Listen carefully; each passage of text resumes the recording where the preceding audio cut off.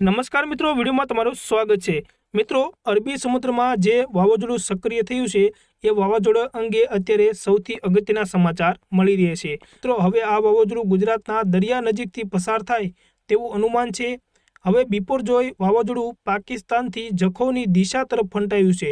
અગાઉ આ વાવાઝોડું ઓમાન કે પાકિસ્તાન તરફ ફંટાય તેવી આગાહી હતી, પરંતુ મિત્રો, હવે બિપોરજોય વાવાઝોડું જખૌની દિશા તરફ ફંટાયું છે, ત્યારે વાવાઝોડાનો માર્ગ બદલાતા ફરી ચિંતા વધી ગઈ છે. આ સંભવિત બિપોરજોય વાવાઝોડાને કારણે હાલમાં કચ્છ અને ગુજરાત માટે ચિંતાનું પ્રમાણ વધ્યું છે. બિપોરજોય વધુ આક્રમક બનીને આગળ વધી રહ્યું છે. બિપોરજોયને લઈને ગુજરાતના તમામ જિલ્લામાં વહીવટી તંત્ર પણ એલર્ટ પર છે અને આ વાવાઝોડું ધીમે ધીમે ગુજરાતના દરિયા કિનારા નજીક આવી રહ્યું છે. ત્યારે હવામાન વિભાગ દ્વારા આગામી ચાર દિવસ આ વાવાઝોડાને કારણે ભારે પવન ફૂંકાવાની સાથે વરસાદની આગાહી કરવામાં આવી છે. આગામી ચાર દિવસ દક્ષિણ ગુજરાત, ઉત્તર ગુજરાત, સૌરાષ્ટ્ર અને કચ્છમાં વરસાદની આગાહી છે તો રાજ્યમાં થંડરસ્ટોમ એક્ટિવિટીની અસર પણ રહેશે.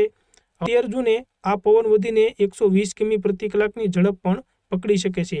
ત્યારે મિત્રો, વાવાઝોડાની દિશા બદલાતા ફરી વખત ગુજરાતના દરિયાકાંઠાના વિસ્તારોમાં ચિંતા વધી છે. દક્ષિણ ગુજરાત, સૌરાષ્ટ્ર, કચ્છ વિસ્તાર, આ વિસ્તારોમાં વાવાઝોડાની સંભવિત અસરના પગલે રાજ્ય સરકાર દ્વારા પણ પૂરી તૈયારી કરી લેવામાં આવી છે અને એનડીઆરએફની ટીમો પણ તૈનાત કરવામાં આવી છે.